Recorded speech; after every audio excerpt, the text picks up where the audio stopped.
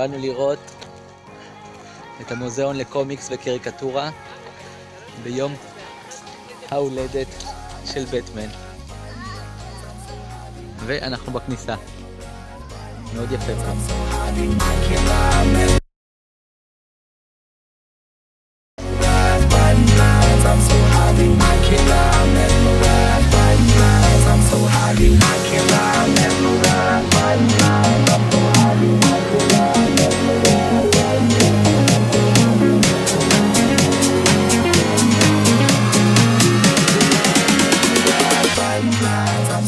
body.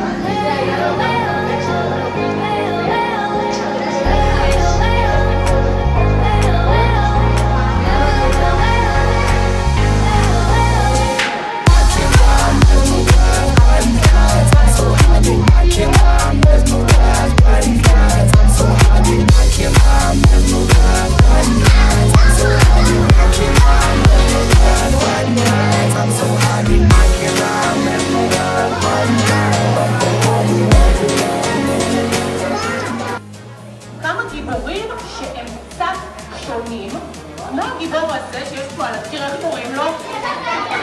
סרט התחתונים, נכון?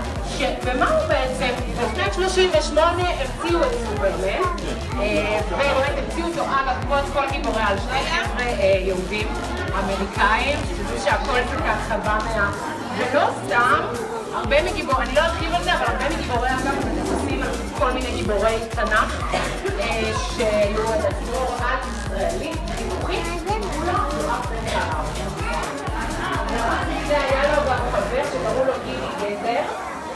我们来。